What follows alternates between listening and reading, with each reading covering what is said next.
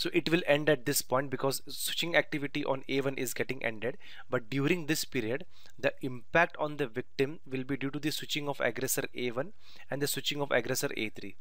this means that on a piece of silicon it's always possible that the arrival time on a1 will lie somewhere over here and the arrival time of a3 will lie somewhere over here. So in that case the impact of this particular switching aggressors will be a will be an addition of a1 plus a3 the glitch height will be an addition of a1 plus a3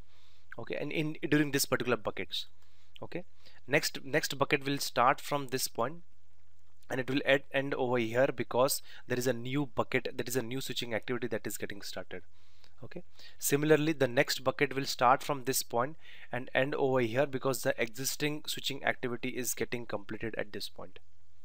okay? And the final one will start at this point and it will end at this point because the, the because the aggressor A, a2 completes its switching activity over here